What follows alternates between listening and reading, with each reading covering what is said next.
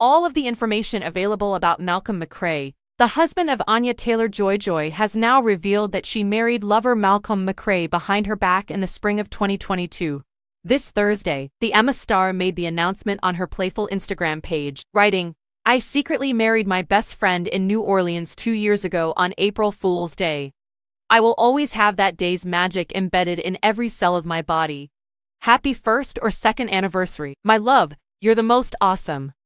Now that the secret is out, you may be curious to learn more about McRae's background and how he and Taylor Joy got together. See what we know about the actor and musician below. Taylor Joy might tell you how difficult it is to resist a man's instrument playing charm. Her husband and former Portugal, the man member Kane Ritchotte co founded the rock group More Asterisk, of which he is one half. Filmmaker Brandon Bernath, who has directed several music videos for More Asterisk, including Green, Lazy James, and Keeping It in the Family, made the initial introductions to the performers.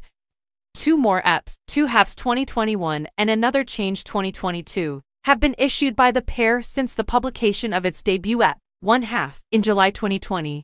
Throughout May and June of 2022, the band served as the opening act for Haim's One More Haim tour.